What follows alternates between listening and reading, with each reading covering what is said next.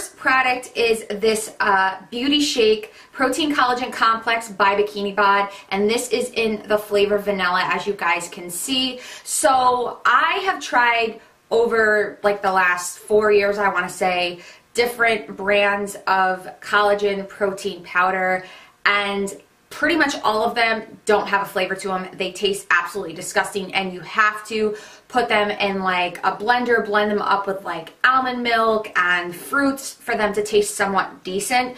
So a lot of the times I don't have time to do that. I just want to shake it up with some water and go. So I wanted to start incorporating the collagen protein into my diet again for the summer. Most of you guys know that collagen protein is great because it's very beneficial for your hair, skin, and nails. And I've even read too for your joints. I've never experienced that, but people that have issues with their joints, the collagen really does help with that. So that's why I wanted to start incorporating it into my diet again, you know, get my hair growing so I don't have to wear extensions and my skin looking beautiful. So this one is great. Now, either after a workout, I will make myself a protein smoothie if I've got the time in the NutriBullet, or I will use it as a meal replacement. Again, I don't get uh, this helps me because I don't get the recommended amount for women. I don't know. I think what is it like 40 or 50 grams of protein a day. There's some days I I don't even come close to that, you guys. I don't really eat a lot of meat. So these protein powders, this one in particular, one serving is 20. What is it? 23 grams of protein. So sometimes